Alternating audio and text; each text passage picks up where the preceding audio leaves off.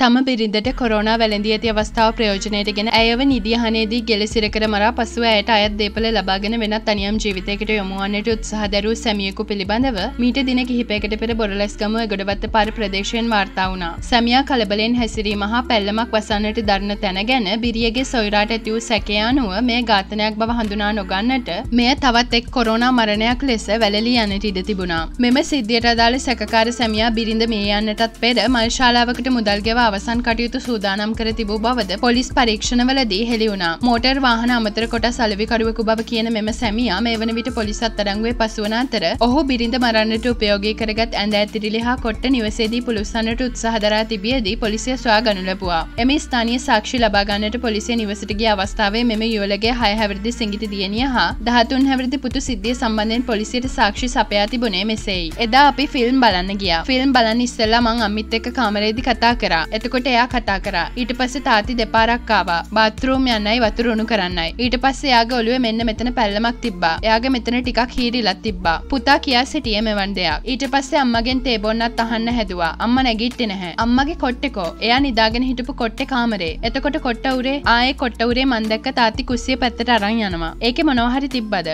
ඔව් ලේ තිබ්බා. ගොඩක්ම තිබ්බේ නෑ චුට්ටයි තිබ්බේ. පුතා ඔයා දැක්කේ නැද්ද ඒක? මන් දැක්කේ නිකන් ඇඳේ ලේ පාරක් තියෙනවා කියලා. ඔව් මමත් දැක්කා.